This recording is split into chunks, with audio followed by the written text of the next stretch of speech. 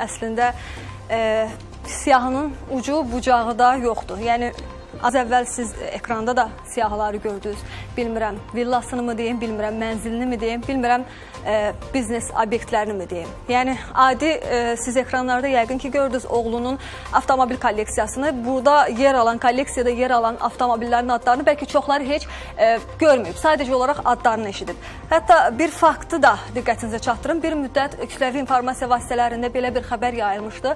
Sözü gedən şəxslə bağlı, yəni William Hacıyevlə bağlı belə bir e, məlumat var idi ki, İmişlidə şəkər zavodunda, yataqxanada ə, kirayədə yaşayır. Aylıq 124 manat kirayə haqqı ödəməklə yanaşır, ə, yaşayır və bu açıqlama düzünü desəm çox təəccübləndirdi. Yəni ona görə təəccübləndirdi ki, görəsən belə bir iddianı irəli sürmək, belə bir açıqlama verərkən e, William Hacıyev heç utanıbmı? Şəxsən mən hazırda bu xəbəri indi təqdim edəndə utanıram.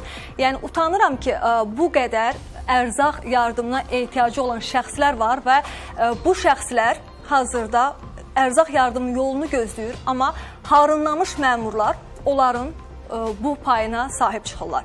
Əslində e, emosiyalarımızda emosiyalarıma görə sizdən üzr istəyirəm. Mən bir jurnalistəm və jurnalistin e, belə bir e, daha doğrusu öz hisslərini, öz ifadələrini işinə yansıtmamalıdır, göstərməməlidir və bu jurnalistikanın prinsipi də e, var ki, hiss olunmamalıdır. Və mən hazırda bilirəm ki, jurnalistikanın prinsipini pozuram. Yəni çünki son günlər təqdim etdiyimiz bu icra məmurlarının özbaşınalığı xəbərləri həqiqətən də prinsiplərimi də pozmağa, prinsipləri də pozmağa vadar eləyir.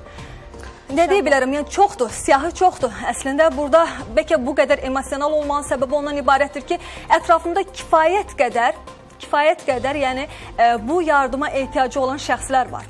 Və bu şəxslər bilirəm ki, necə səbirsizliklə həmin ərzağın yolunu gözləyirlər. Düzdür, hazırda bəlkə mən, e, bu mənim üçün axırıncı bir efir ola bilər. Çünki mən bu kanalın işçisiyəm və bu platformadan bu fikirləri çatdırıram və aydındır, başa düşürəm ki, mənim bu fikirlərim rəhbərlik tərəfindən xoş qarşılanmaya bilər. Amma əgər mənim üçün belə bir fürsət düşübsə, belə bir imkan varsa, mən bu platformadan o şəxslərə, o harınlamış məmurlara demək istəyirəm ki, haram olsun.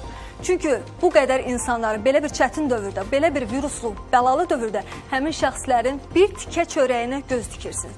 Allah gözünüzü doydursun. Əgər doymasa belə, hazırda gedişat onu göstərir ki, gec-tez həbsdə doyacaq gözünüz. İnşallah mən səni başa düşürəm. Bu siyahının qarşısında ümumiyyətlə susub qalmaq ə, e, çox çətindir. Emosiyalarım ona görə də başa düşüləndir. Sən istəyirsən biraz sakitləş. Mən sözü gedən şəxslə bağlı xəbəri davam elətdirmək istəyirəm.